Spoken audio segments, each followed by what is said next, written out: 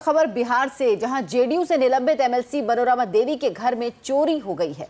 चोरी का खुलासा तब हुआ जब पुलिस पाँच महीने से मनोरमा देवी के सील पड़े घर को खोलने पहुँची। घर की हालत देखकर मनोरमा देवी और उनके पति बिंदी यादव फूट फूट कर रोने लगे।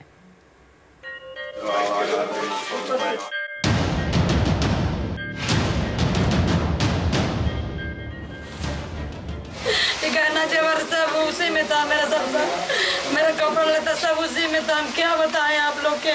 लूट लिया, सब लूट लिया। ये है जेडीयू से निलंबित पार्षद मनोरमा देवी। कभी माथा पीट कर रो रही हैं तो कभी आँसू पोछ रही हैं। रोते रोते कभी सिर पकड़ लेती हैं तो कभी सोच में पड़ जाती हैं।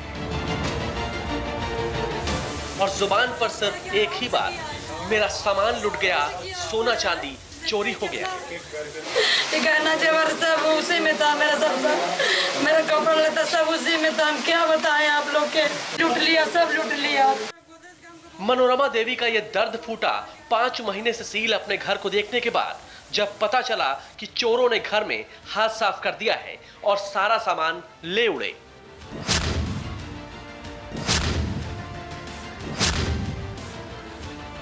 तस्वीर बिहार के गया की है। शनिवार को पटना हाईकोर्ट के आदेश के बाद मनोरमा देवी का घर खोला गया।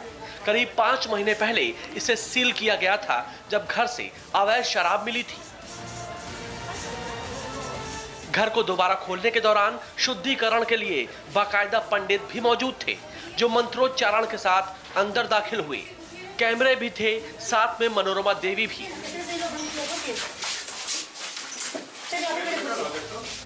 लेकिन जैसे ही एक एक कर घर के कमरों के गेट खुले, सबकी आँखें भी खुली की खुली रह गई।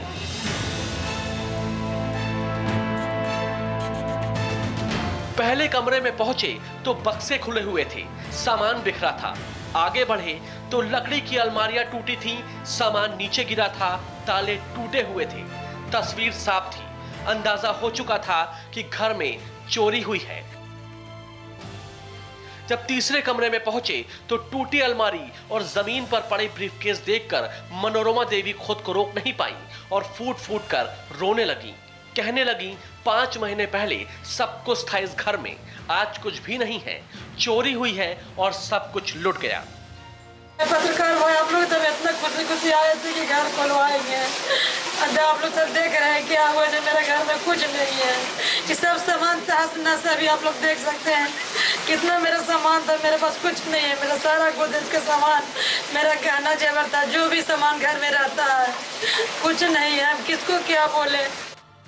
घर की अस्त व्यस्त हालत देखकर पुलिस को भी पता चल चुका था कि यहाँ क्या हुआ है और कैसे हुआ है।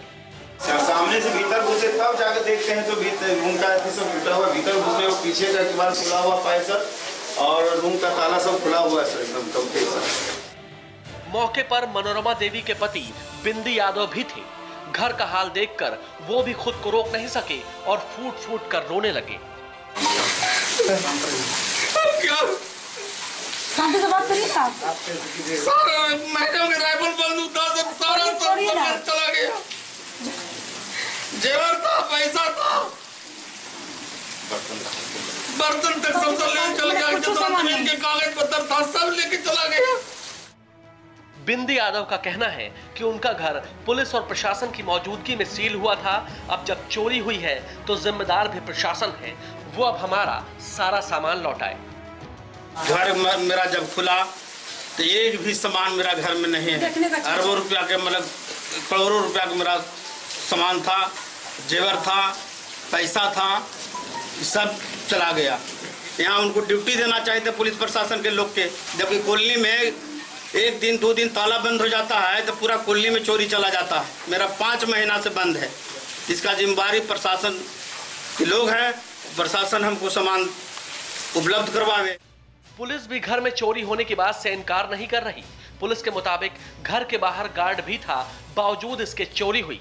ऐसे में लापरवाही के लिए जिम्मेदार लोगों पर कार्रवाई होगी।